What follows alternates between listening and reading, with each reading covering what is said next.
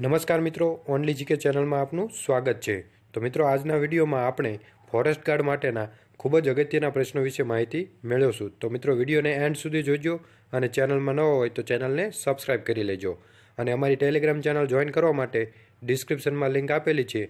ત્યાં જઈ તમે જોઈન કરી શકો છો. તો મિત્રો, પહેલો પ્રશ્ન જોઈશું. અંબુજા સિમેન્ટનું કારખાનું ક્યાં છે? તો મિત્રો, એનો જવાબ આવશે વડનગર. પ્રશ્ન નંબર બે. નળ સરોવર અને કચ્છના નાના રણ વચ્ચેનો સુરેન્દ્રનગર જિલ્લાનો ભાગ સાના તરીકે ઓળખાય છે. તો મિત્રો, તે પ્રદેશ ઝાલાવાડ તરીકે ઓળખાય છે. પ્રશ્ન નંબર ત્રણ. કઈ યોજના ગુજરાતની જીવાદોરી ગણાય છે? તો મિત્રો, નર્મદા યોજના એ ગુજરાતની જીવાદોરી ગણાય છે. પ્રશ્ન નંબર ચાર. ગેસ આધારિત થર્મલ પાવરના સૂચિત પ્રોજેક્ટનું સ્થળ કયું છે? તો મિત્રો, એનો જવાબ આવશે પીપાવાવ.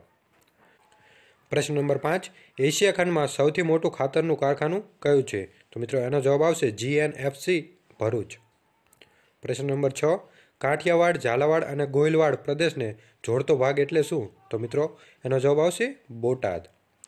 પ્રશ્ન નંબર સાત, વિશ્વ ઓઝોન દિવસ ક્યારે હોય છે? તો મિત્રો, વિશ્વ ઓઝોન દિવસ એ સોળ સપ્ટેમ્બરના સોળ સપ્ટેમ્બરના દિવસે ઉજવાય છે.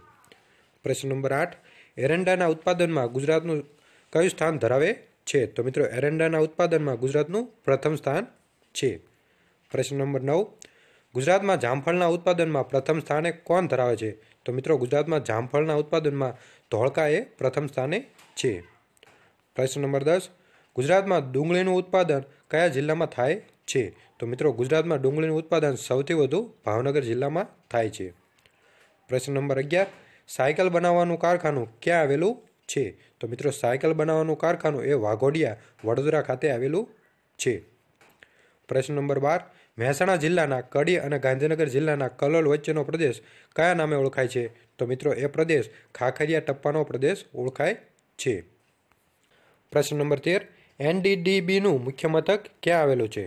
તો મિત્રો, એનડીડીબીનું મુખ્ય મથક આણંદ ખાતે આવેલું છે. પ્રશ્ન નંબર ચૌદ નાગવા બીચ કઈ દરિયા કિનારે આવેલો છે? તો મિત્રો, નાગવા બીચ એ દીવના દરિયા કિનારે આવેલો છે.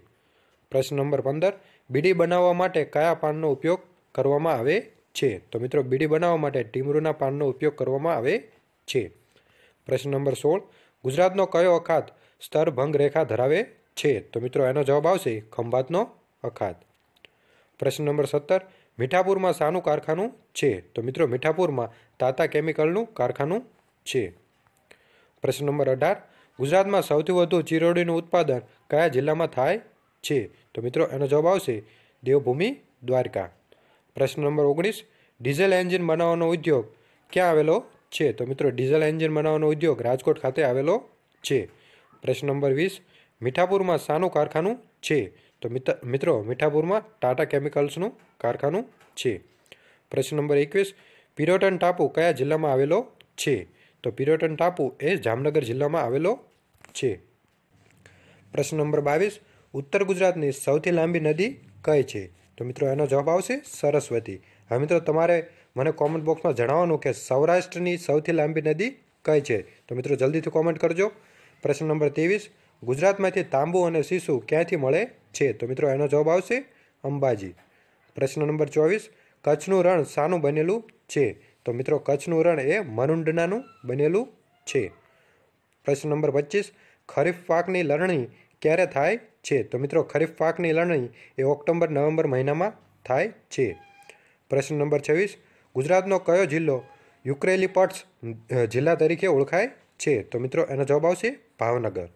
પ્રશ્ન નંબર સત્યાવીસ, કુદરતી ગેસના ભંડારનું ઉદ્ભવ સ્થાન લુણેજ કયા જિલ્લામાં આવેલું છે? તો મિત્રો, એ આણંદ જિલ્લામાં આવેલું છે. પ્રશ્ન નંબર અઠ્યાવીસ. ચંદનના વૃક્ષોનું વન ધરાવતું સ્થળ બાલારામ કયા જિલ્લામાં આવેલું છે? તો મિત્રો, ચંદનના વૃક્ષોનું વન ધરાવતું સ્થળ બાલારામ એ બનાસકાંઠા જિલ્લામાં આવેલું છે. પ્રશ્ન નંબર ઓગણત્રીસ. ગુજરાત કયા જિલ્લામાં મેગેનીઝ મળી આવે છે? તો મિત્રો, એ જિલ્લો છે પંચમહાલ. પ્રશ્ન નંબર ત્રીસ. ગીરના જંગલને કયા વર્ષથી અભયારણ્ય તરીકે જાહેર કરવામાં આવ્યું હતું? તો મિત્રો ગીરના જંગલને ઈસવીસન ઓગણીસો પાસઠથી અભયારણ્ય તરીકે જાહેર કરવામાં આવ્યું હતું. પ્રશ્ન નંબર એકત્રીસ, ગુજરાતમાં સૌથી ઓછો વરસાદ કયા વિસ્તારમાં નોંધાય છે? તો મિત્રો, ગુજરાતમાં સૌથી ઓછો વરસાદ કચ્છ જિલ્લામાં નોંધાય છે. પ્રશ્ન નંબર બત્રીસ, ગુજરાત રાજ્યનું કાચબા ઉછેર કેન્દ્ર કયા જિલ્લામાં આવેલું છે? તો મિત્રો, એનો જવાબ આવશે ભાવનગર. પ્રશ્ન નંબર તેત્રીસ, કયા માસમાં રવિ પાક થાય છે? તો મિત્રો, જાન્યુઆરીથી માર્ચની વચ્ચે જે પાક કરવામાં આવે તેને રવિ પાક કહેવાય છે. પ્રશ્ન નંબર ચોત્રીસ, ગુજરાતમાં ડુંગળીનો સૌથી વધારે પાક કયા જિલ્લામાં થાય છે? તો મિત્રો એનો જવાબ આવશે ભાવનગર. પ્રશ્ન નંબર પાંત્રીસ, ગુજરાતની દરિયાઈ સીમા આશરે કેટલા કિલોમીટરની છે? તો મિત્રો એનો જવાબ આવશે સોળસો કિલોમીટર. પ્રશ્ન નંબર છત્રીસ, ગુજરાતમાં બટાકા સંશોધન કેન્દ્ર ક્યાં આવેલું છે? તો મિત્રો એનો જવાબ આવશે ડીસા. પ્રશ્ન નંબર સાડત્રીસ ગુજરાતની કુલ ભૌગોલિક જમીનનો કેટલા કેટલો વિસ્તાર વાવેતર હેઠળ છે? તો મિત્રો એનો જવાબ આવશે પચાસ ટકા. પ્રશ્ન નંબર આડત્રીસ, ગિરાધોધ ક્યાં આવેલો છે? તો મિત્રો ગિરાધોધ એ ડાંગ જિલ્લામાં આવેલો છે. પ્રશ્ન નંબર ઓગણચાલીસ, કયું પ્રાણી સમગ્ર એશિયામાં માત્ર કચ્છના રણમાં જોવા મળે છે?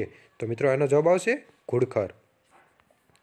પ્રશ્ન નંબર ચાલીસ, મચ્છુ જળ હોનારતમાં સૌથી વધારે નુકસાન કયા શહેરને થયું હતું? તો મિત્રો, એનો જવાબ આવશે મોરબી. પ્રશ્ન નંબર એકતાળીસ, નર્મદા નદીનું ઉદ્ગમ સ્થાન ક્યાં છે? તો મિત્રો, નર્મદા નદીનું ઉદ્ગમ સ્થાન એ અમરકંટક મધ્યપ્રદેશમાં છે. પ્રશ્ન નંબર તેતાળીસ જોઈશું, કયા વૃક્ષના લાકડામાંથી કાથો મળે છે? તો મિત્રો, એનો જવાબ આવશે ખેર. ચુમ્માળીસમો પ્રશ્ન, કયા પાકના ઉત્પાદનમાં ગુજરાત સમગ્ર ભારતમાં પ્રથમ સ્થાને છે? તો મિત્રો, એનો જવાબ આવશે એરંડા. પ્રશ્ન નંબર પિસ્તાળીસ કયા છોડના ફળમાંથી સુતરાઉ કાપડ બને છે? તો મિત્રો, એનો જવાબ આવશે કપાસ. પ્રશ્ન નંબર છેતાળીસ. ગુજરાતની કઈ નદીને મૈકલ કન્યા તરીકે ઓળખવામાં આવે છે? તો મિત્રો, મૈકલ કન્યા તરીકે નર્મદા નદી ઓળખાય છે. પ્રશ્ન નંબર સુડતાલીસ.